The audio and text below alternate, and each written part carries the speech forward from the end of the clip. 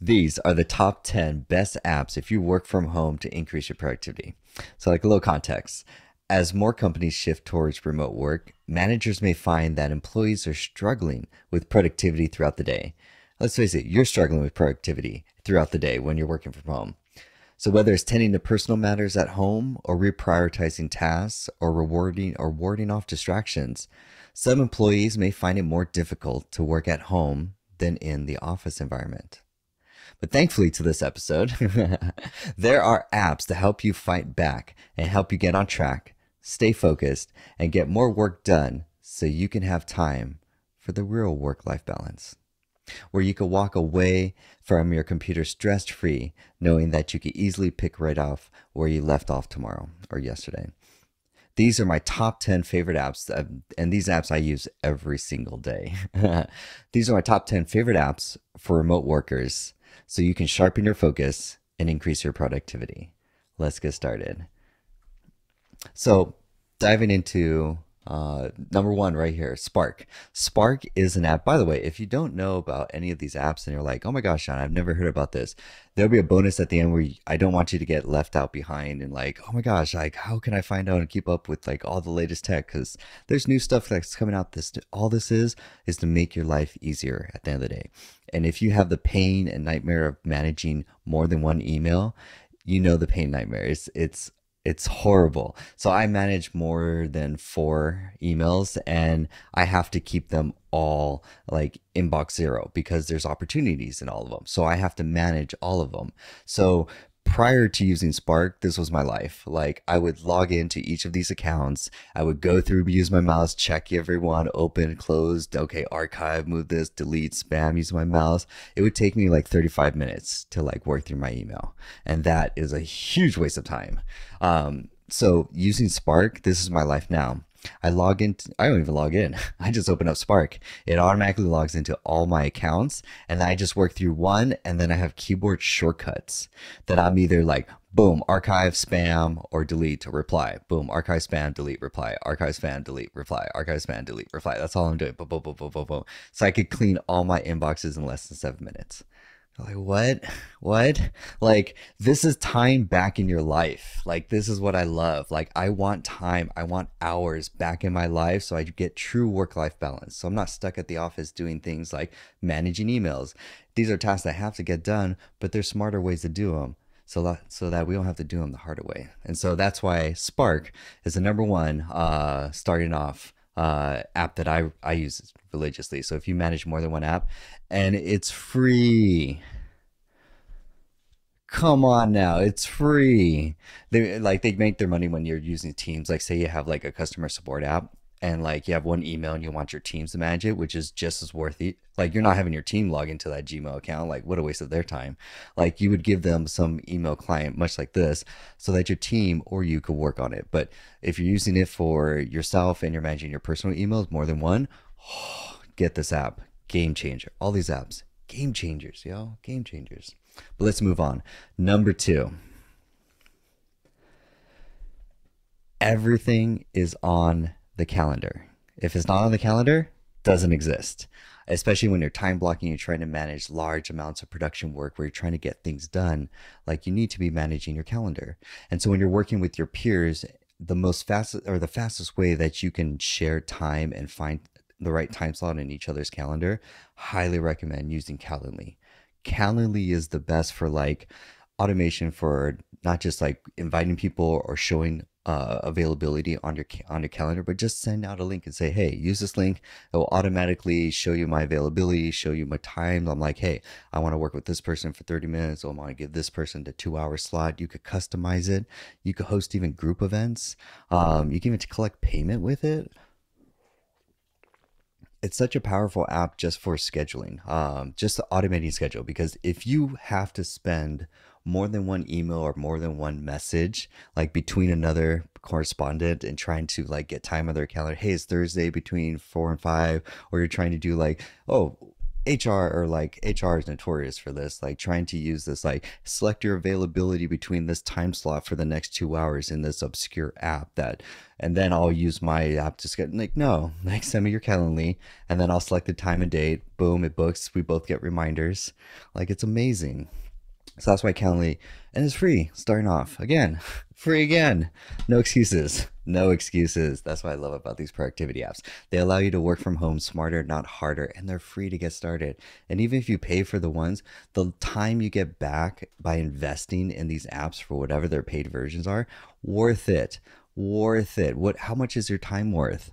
That's what you're asking. Like my time is worth way more. Like my time, I can't even tell you the hourly Like my time is worth so much, like because of this these apps. So you want to elevate yourself um, from doing just like oh the mundane admin work. So there's tools like this, like Calendly, to automate your calendar. You can tell I'm very passionate about this stuff. Like it's time, people, time, work life balance. But let's jump into my favorite. But this one I had to like um, do it on a incognito window because I'm like logged in. So I'm also reading my script from here because it keeps me organized.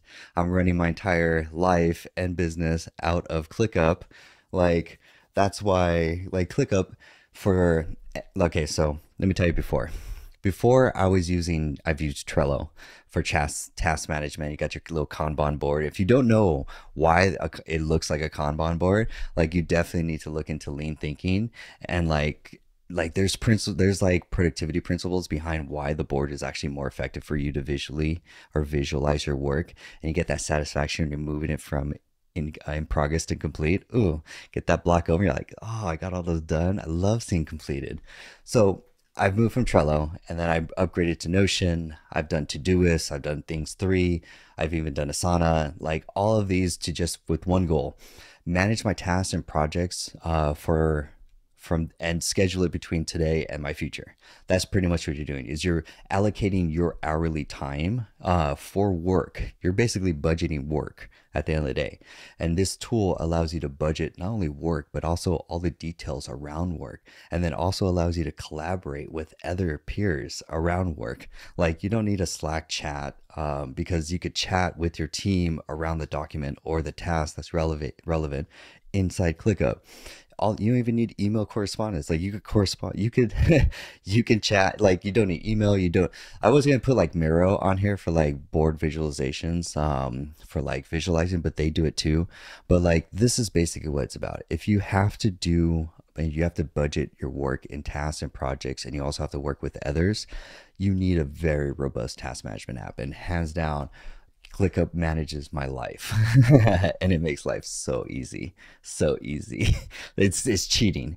Like if if you put me up against or anyone up against someone who's not using ClickUp with put them up against Notion or Things 3 or Todoist or Trello, they would crush them in the amounts of volume. They would be able to move mountains of work while that person is just shoveling like work. It's just so specialized. Again, these apps are specialized they're tuned. There's specialty apps and there's generalist apps. So these apps are so specialized for the function of work. Say, for example, for work management. Oh, oh my gosh, it is a game changer. Like, oh, but like, I digress. Let's, it gets me excited. Let's move on. I got so many other videos about that. But number, okay, we're at number four. Number four is a password manager. Boom. And I'm recommending one math, one password for your password manager. So if you, this is like life before.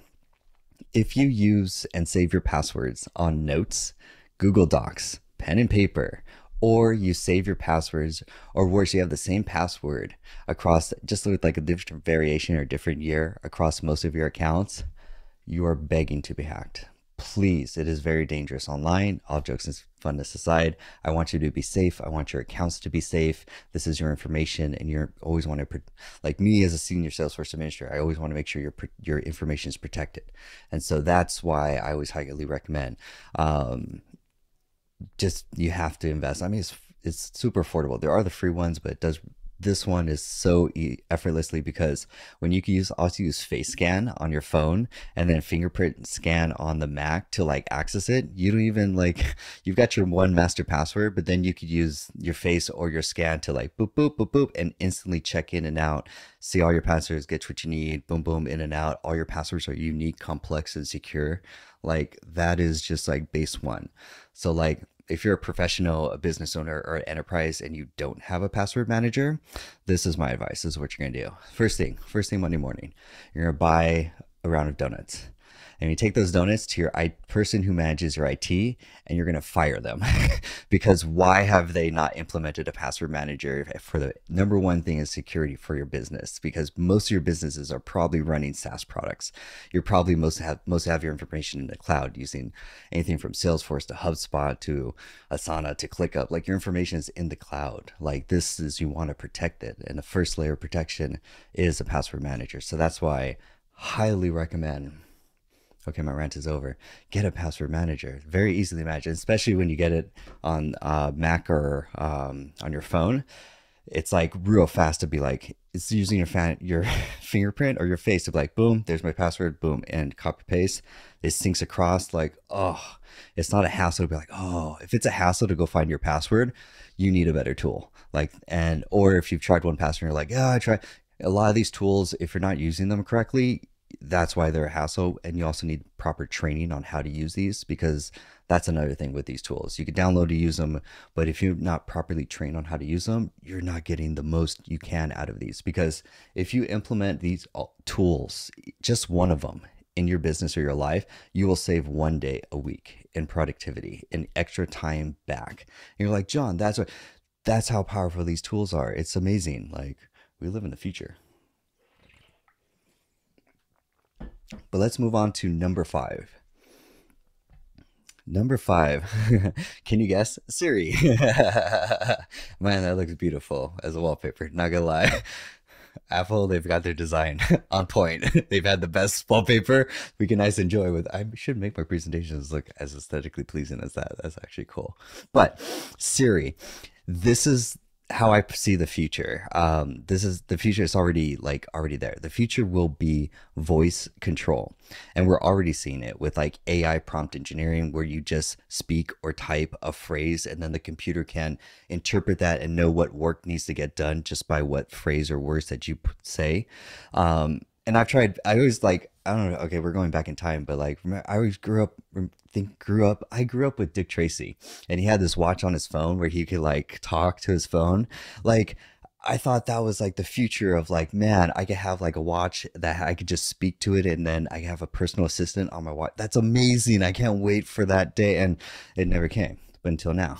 and so I tried many different voice apps, but the whole point of it is either you just have to be in the room, same room, somewhere you could just throw this in the corner. You don't even have to carry it with you. Uh, that's why I'm always like with Air, uh, with AirPods, um, because then when you have that that I call it that um, lightning in a bottle. That idea that oh my god, I should uh, call back that call back that person or I forgot to do this task at work or oh my gosh, this is a great business idea. This will happen if I click da da da da. You're reading an audiobook and all of a sudden things click. You're like, oh, you capture that lightning in the bottle. So when you have to, oh, where's my notebook? And you're trying to capture, you're like, oh, where's the notes? You got open, log in. Like you, the more time you waste, the least you, least likely you would save that thought. And I find those lightning thing thoughts when you're like connected, like those are really like valuable and you want to capture them as quickly and as raw as possible and then direct them where you need them safely so that you can use them. For example if it's a new task a new business idea um, a note um, or something you have to do on your calendar or something like that. And so that's where i found siri across all the devices. I'm just going to activate all of them we're going to call her sally for the for this. Um, and so for sally this is where it's like it's great for there are four four uses for Siri that I found that turn her into a personal assistant. Um, number one, it's great for capturing ideas as soon as they come. Either you have to order something, you have to buy something, um, you have to do something. You're like, oh, remind me this.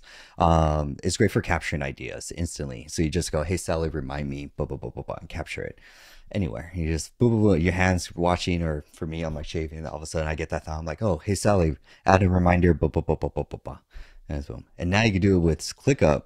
You go, hey Sally, add a new task using ClickUp, and you go like, I don't know the phrase off the top of my head because it's so new. I haven't tried it yet, but I think it's, um, hey Sally, add call Bob back using, oh, oh man, it's like add new task in whatever your list name using ClickUp. That's like the phrase. I haven't committed it to memory yet, so I'm still working on that. Um, you're going to use it for setting reminders, uh, multiple reminders throughout the day for like, hey, remind me at this specific time, this thought, or hey, remind me in 10 minutes, do this. It's great for saying multiple reminders with context around them. A lot of us have reminders where like, hey, Alexa, or whatever, you set a timer and then that timer goes off and you're like, what was that timer for? so that's where it's great, right? You can set multiple reminders with with unique uh, like context around it um, using uh, Siri, just oh, it's just so helpful. And then you can add new tasks. You can ClickUp, and then you can also add things to your calendar. So like, oh, I gotta do that thing on Friday, or hey, I gotta do that thing on Thursday, or something like that. You can add it to your calendar using uh, Sally, using your voice. Game changer. Um, and below there will be a link where you can actually get the word commands. Um, that way you can know exactly what to say to Sally to do. So there's you'll get the cheat sheet. Uh, so the cheat sheet will be in the link down below. But Siri, oh my gosh, game changer as far as like working from home and just like she's my personal assistant. It's so awesome. Next one up, number six. Apple Calendar synced with your iWatch. So basically, you need all your calendar and all your time or all your different emails with all your calendars synced across in one you need one master calendar one source, source of truth that you could go to. This is has all my tasks projects calendar everything is in this one calendar. And so that's where i have everything synced to um, apple's iCalendar. That way it syncs across um, not just the phone but also the watch. And here's where the real value is. Um, I, if i ever have a question what should i be doing or what's going on today or what's going on in the week, I instantly can just open that app or look at my watch and I know exactly what I'm going to be doing today, right now, or what we're going to be doing for the rest of the day or the week. And I instantly get that awareness of like, oh, calendar, boom, okay, cool. And move on. It takes five seconds. And that's where it's like, it's speed to get this information. If you're like, oh yeah, let me check my calendar, and you got to go unlock the phone to get the app, and you got to check the cat, no, you've already like wasted so much time. I could look at the watch and it could tell me exactly what time it is, what activity I should be doing, what activity is coming up next. And I'm like, okay, great, moving on. Or yeah, so it's so great when you have one source of truth to manage your entire time because that's when you can get really great at time blocking. Um, then you get get into deep work, time blocking, um, a lot of that there. it's free. Another free one. but let's move on. Number seven. Oh, my favorite. Every Mac should come with this, honestly. If you don't know about Alfred, meet Alfred.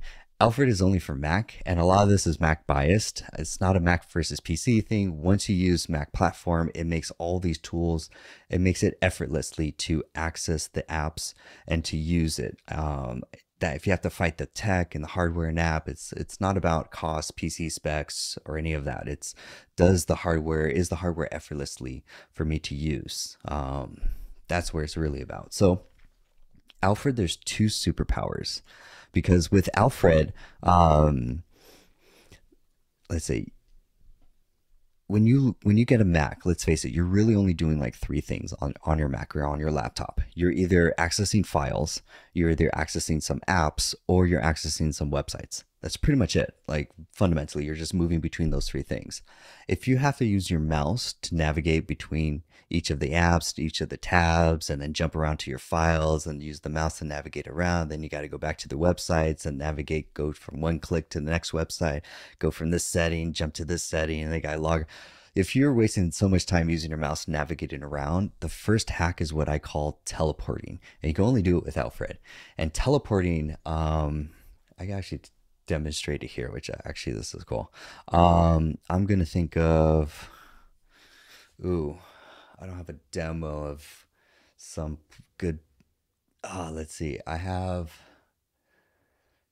Let's say I need to go to Zapier, for example. I was working in Zapier earlier today, so I could teleport to Zapier just by enabling Alfred. Boom. Is that little space bar that just, or that little pop up search bar? Boom. Just instantly, it's like, oh, where would you like to go? And I'm like, yeah, take me to Zapier. And it's like, okay, let me open up Chrome browser. Let me take you there. Let me get you logged in and let me take you directly to that setting page that you like. Wow. It's like being chauffeured. That's called teleporting. That's amazing. Like you think of how much time if you have to start the timer to get your mouse, move your mouse to Chrome, click on Chrome, wait for it to open, go to the URL, type in www.zapier.com. I could tell you're already getting bored by me just trying to describe this. Like that's all that time instant. And how many websites do you go through? Like I could go to a thousand websites in a day. Like you're just teleporting up, just boom, boom, boom, boom, boom, boom, boom, boom. But like the amount of time it takes just to get to the web page that you need to get to or that one setting, like time fast. And so this is where it's like I call it teleporting. You can only do it with Alfred. but the other cool thing is um, you get clipboard history. So so with clipboard history, I could take, let's say, um, let's go to 1Password. So I'm gonna copy this headline, copy, and then I'm also going to copy this headline. Copy. I'm going to copy this headline. You're like, John, can't you only copy one thing at a time? what if you had a memory of everything that you copied? And you know what? I also want to take a picture of this. And then I want to take a picture of this. All of that is now in my memory copy, copy, copy, and I just took two screenshots. And you're like, John, how do you access that? Thanks to Alfred, we can look in the memory and just go, bam, there's the four things. Number one, there's the picture we just took. There's the next screenshot. There's the text. I know it's really small. I can't really zoom in. Sorry, but it says Spark features. Here's the next one. Easy scheduling ahead. Here's the next one. What if you had a memory of all the things that you copied throughout the day? Like, how much time would that save you? again, how much time is your worth? it's like so clipboard history and teleporting are two like super time hacks when you start using Alfred. Again, game changers. I love these. Love these. But let's we're rounding out the list. Three more to go. You're you're hanging in you're hanging in there. This is a long episode, but these are the best productivity apps for working from home, and you need to know about these if you're not using these. Um, so number eight Notion, hands down. This Notion is like is my second brain. So everything from documents, SOPs, um, list, files, everything is in Notion for me. Like it's so easy to put information in and then search and then take information out uh, and then go back. Like I could go to all to the history of all the books that I've read. I could pull the history of all the meetings I've ever been in. I could pull up a history of all used to all the tasks I used to do in Notion because it used to be my task manager. Like it has a great perfect memory of all the things I need to work on and easily organizes them in lists. Super easy, super clean, and I use it as my it everything I know is in Notion. So it does this cool thing where I could Google Notion and I could search my brain. I could be like, what was that book I read around May? Has to do something with EOS. Oh yeah, EOS life. And it's so easily searchable. So that's where I love Notion for just like, oh, it's for digital note taking. It's like the best, and especially for students. Um, highly recommend that. Can't like enough. Let's jump around to number nine. With number nine, anytime you have to sign a digital document or you have to turn it into um, a, or turn a pdf file into a digital file uh, to send to clients to sign uh, that's where i use jotform. Jotform is like legal contracts invoicing forms if your attorneys like anywhere that any business that uses uh, legal forms um, or you have to fill out forms uh, like there's oh yeah they also have like these great templates so you can also see a bunch of like what what they have but this thing is so powerful and easy to create a form digitize a form send it to a client they easily sign it you get it back they get reminders um, or you can make it simpler. You have this complex legal form that you need to get filled out, but you don't want to send that complex legal form to your client, like, and have them looking, oh, yeah, it's cell C4, and you got to look in the scribble C4, and it's this tiny little text box. Yeah, scribble your name or that special ID number. And you're like, where page four uh, i gotta look and you're like you've lost the client. Like you've made it so complex for them.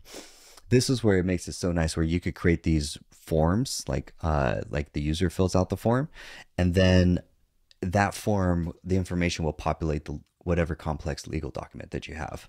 Um, that's where it makes it very easy and very user in like very nice for your users to like um, sign forms with you guys um, rather than sending them a pdf and just saying fill it out and sign it and send it to us and then email it back to us dear god what a painful experience. Sign this pdf form email it back to you. Ouch.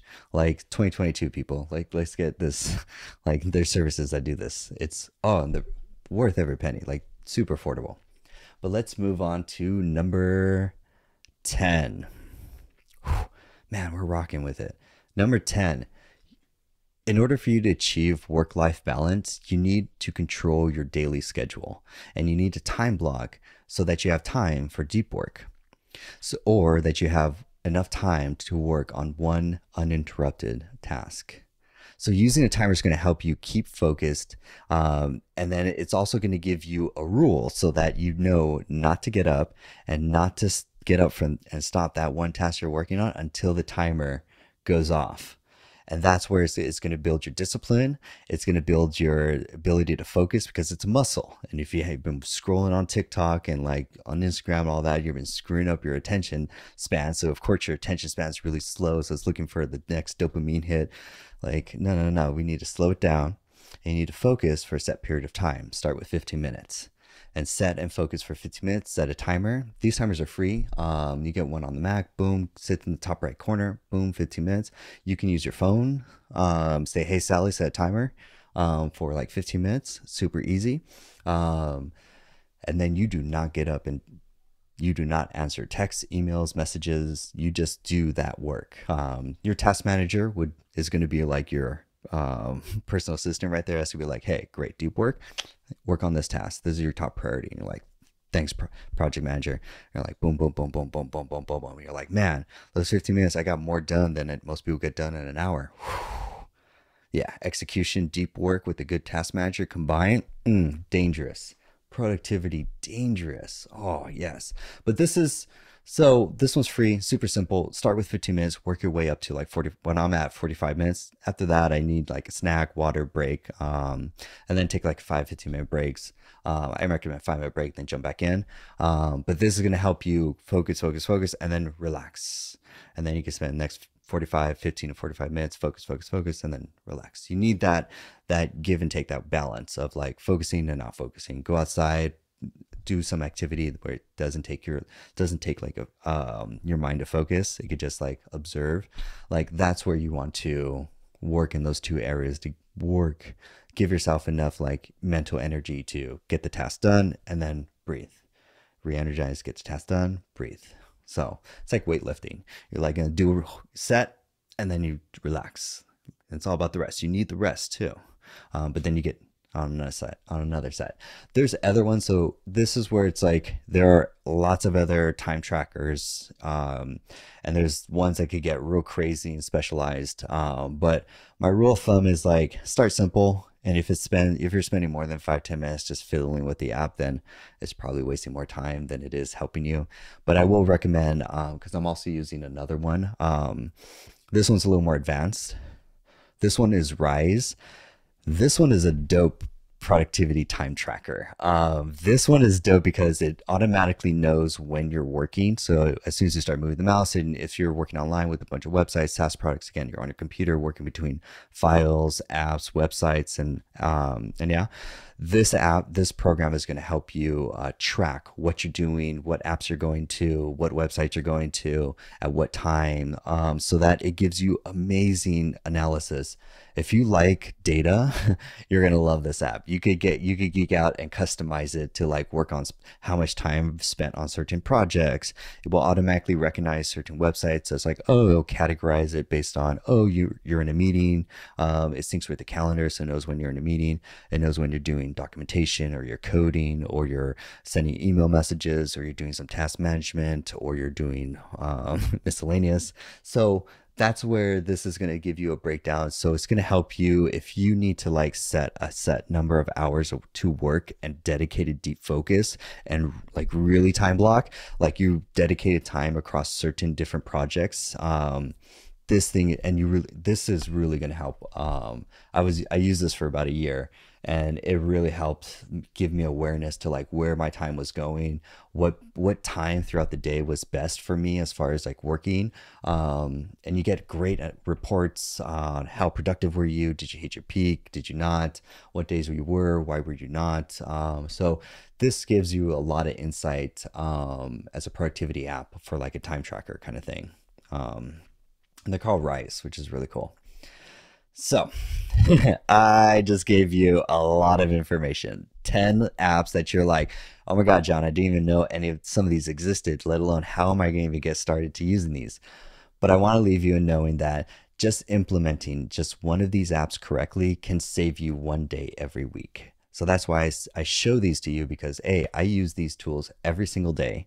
They have saved me hundreds of hours of work, so much time, like incre- it's incredible amounts of time. Like, um, so that's why I want to share them with you. And it's a long episode, but you need to know about these apps. So if you're struggling to work from home um, and you found these apps um, interesting, then um, there's a link below where you could get my productivity secrets so that you can work smarter and not harder. And that's going to take you to a website where I have a free guide this is my productivity guide where I could give you not only my best apps, but other apps left such so you can stop feeling overwhelmed at work and you can win back control so that you can end email overload and achieve inbox zero. There's a lot of goodies in here that I can't just put in one YouTube episode. Um, so this is my gift to you. You could grab this. This will going to help you um, expand your awareness as far as what really is productivity. How can you really work smarter while as you work from home? Um, because it's not just about the apps. You can use the best apps, but if you're not using them correctly or you're not doing these other fundamentals, such as controlling your environment, then the best apps are not going to help you increase your productivity while you work from home. And so that's why this has a lot more around the um, practical principles that I use every day to help me work smarter and not harder. And so I highly recommend if you've never heard any of these apps um, or you found any of this helpful, then you could join uh, my Gaining Clarity newsletter. That way I could give you the book and free tips over the next couple weeks so that you can always level up because I don't want you to get left behind. Because that's we're moving into a digital world and we got moved fast from like work to like remote work. And if that if you're struggling, that's why I don't want you. I want you to a know that there's tools out there available to make your life easier. Most of them are free, and then b there's also resources so that you could continue on your education, um, so that you could learn pretty much like how to work smarter and not harder at the end of the day. So I'm Jonathan Acuña. It's so good to spend time with you. Thank you so much for hanging in there for 10 of my best uh, productivity apps that I use every day to work from home. So I'll see you in the next episode. Stay blessed.